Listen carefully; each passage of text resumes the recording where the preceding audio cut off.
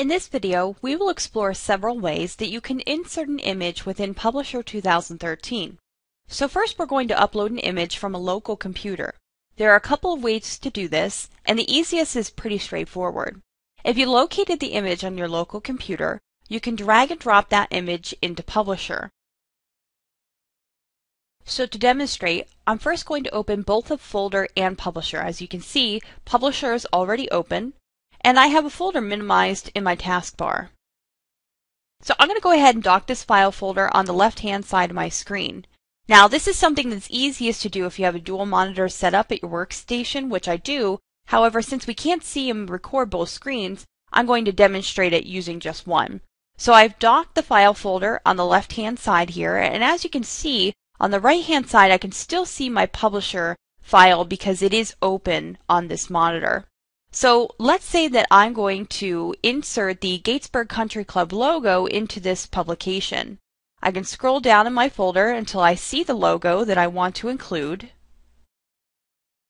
Then I'm going to click and hold my left mouse button on that photo and then drag my mouse onto the publication and let go. Notice now that the image is displayed within the publication. Now there may be some adjustments that you need to make so that the image is the size that you'd like it to be and in the position that you'd like it to be, but we'll talk more about that in a future tutorial. In this video, we needed to get the image in, we got the image in, and now we're good to go. So I'm going to go ahead and I'm going to delete the photo within the publication so we can take a look at another way to insert. In this example, we're going to use the Insert Picture command within the ribbon. So first we'll want to select the Insert tab within the ribbon, and then within the illustrations group, we want to go ahead and click the pictures button. And that displays the insert pictures dialog box. Next, we want to locate the image that we'd like to insert.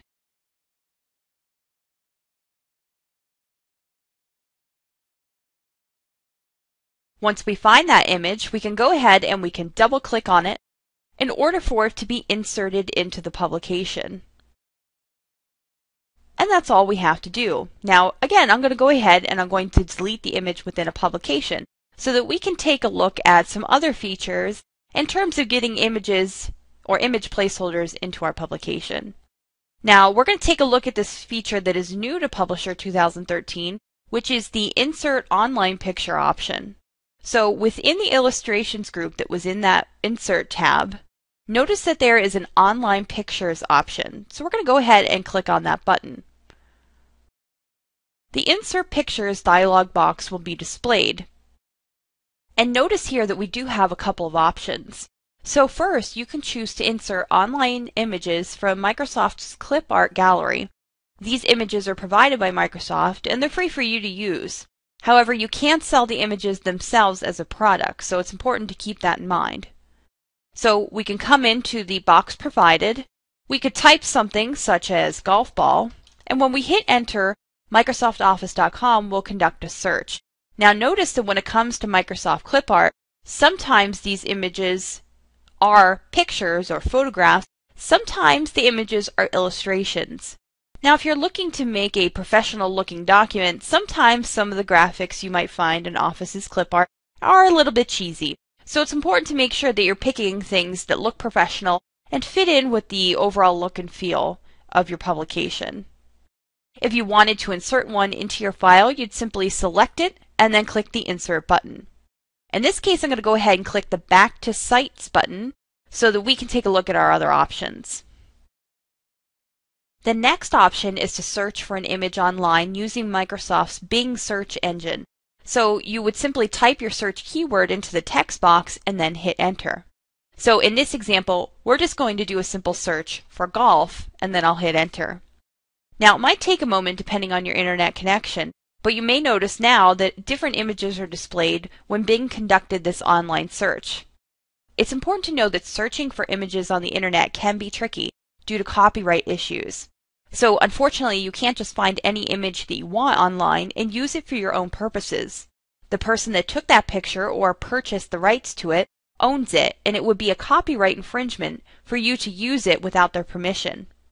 However, when you conduct a search for online images within Publisher, using this Bing image search, the results that will be displayed are images licensed under Creative Commons, which is a good thing. Creative Commons is a nonprofit organization that enables the sharing and use of royalty-free media. So Creative Commons licenses provide a simple, standardized way to give public permission to share and use creative work. So the owner of the media can choose which license should be used. These licenses can range from the ability of users to take a piece of media and download, distribute, tweak, and build upon it, even commercially, as long as they give credit for the original creation to the individuals who made it.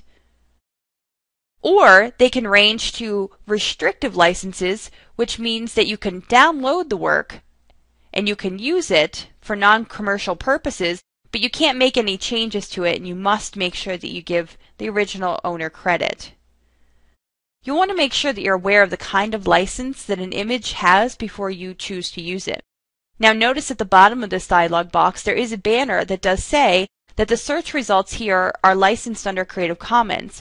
You can choose to click the box that says show all web results, but just keep in mind that copyright infringement is a very serious thing, so you want to be careful when using images. I'm going to go ahead and click back to sites and notice that the last option is to use an image that is stored in somebody's SkyDrive. And we're going to take a look in a later tutorial on how to configure that account. Finally, you also have the ability to include images from social media sites like Facebook and Flickr, which is down here at the bottom. Notice the two icons available. If you click on one of these two icons, you'll be asked for credentials that you use to log into those accounts, and Microsoft will ask you for permission to link them together. I'm going to go ahead and I'm going to close the Insert Pictures dialog box so that we can take a look at image placeholders. But feel free if you think that you'd like to use your social media images in your publications to go ahead and through this process and connect with an account. Now when it comes to image placeholders, there may be times when you may know that you want to include an image within your publication, and you know exactly where you want to put it, However, you aren't quite sure which image you want to use in that space. And if that's the case, you can insert an image placeholder within the publication so that you can set the layout of your publication and then just worry about finding the perfect image and inserting it at a later time. So let's say that I would like to add an image placeholder into the blank page number 3. So I'm going to move over into page number 3 and zoom in just a bit. Now we'll go ahead and we'll click the Insert tab. And in the Illustrations group, this time we're going to click Picture Placeholder. And notice that a placeholder has been placed within the publication. Now it just takes a default placeholder of a style, certain size, and throws it in as a certain location. But know that you can resize this image placeholder to make it bigger, height-wise, width-wise. You can make it smaller, and you can also move it around so that you can position it where you want to. For example, if I wanted to place it into the text on page 2, I could do so and then the text would wrap around it. Now that's an important thing to keep in mind. When you put an image placeholder within text, the text will wrap around it, and those are settings you can change, which we'll talk about in another chapter. But if I put this image placeholder into a blank page, and I click off of it, notice that you can't see it anymore. It is still there, but because there isn't text or other objects surrounding it, it might be difficult to see. So it might be a best practice, and just as a suggestion, that you might want to apply a thin outline around your placeholder so that you know where it is and it's easier to reposition and locate later. So if I were to select this image and click the Format tab, I could click the Outline button and choose an outline so now I can see it around my placeholder. Now when it comes to actually including an image within this placeholder, you want to make sure that it's selected and then notice the little insert image icon that displays in the middle of the placeholder. When you click that button, notice that the insert pictures dialog box is displayed. Now we have all of those options that we saw before for looking for an online picture, but then we also have this option from a file, which allows you to search your local computer, which is something that we talked about moments ago as well. This concludes our tutorial on how to insert an image within Publisher 2013.